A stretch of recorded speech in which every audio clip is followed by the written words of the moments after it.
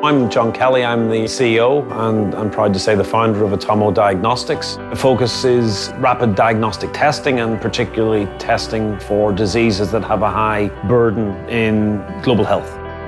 Applications like HIV, malaria and dengue fever, diseases that impact millions of people. The device itself can really support a, wide range of blood-based testing. So there's many applications that we can bring onto the platform and we're looking to do as many as we can, but we have focused initially on global health.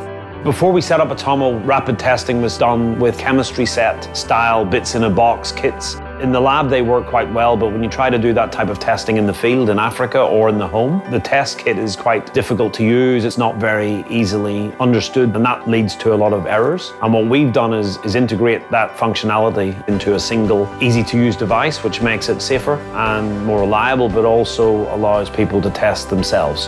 What we're doing matters, and I think that gives us the energy to keep going, and I think that's really important.